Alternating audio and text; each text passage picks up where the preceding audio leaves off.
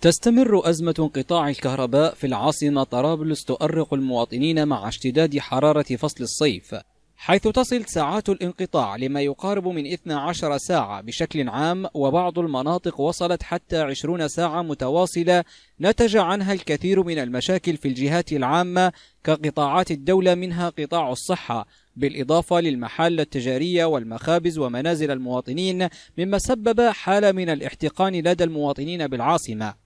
على إثر ذلك تظاهر عدد من الشباب أمام مقر المجلس الرئاسي لحكومة الصخيرات بالعاصمة طرابلس وذلك استنكارا وتنديدا على تردي خدمات شركة الكهرباء والانقطاع المستمر لها. المتظاهرون طالبوا بإنهاء الفساد الكبير الذي تتعرض له شركة الكهرباء وتحكم شخصيات غير مسؤولة بإدارة الشركة.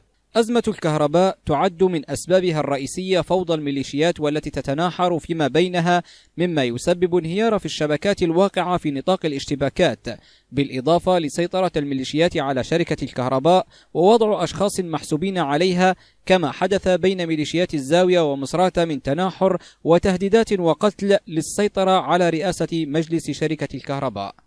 لقناة ليبيا الحدث بو بكر العقيدي.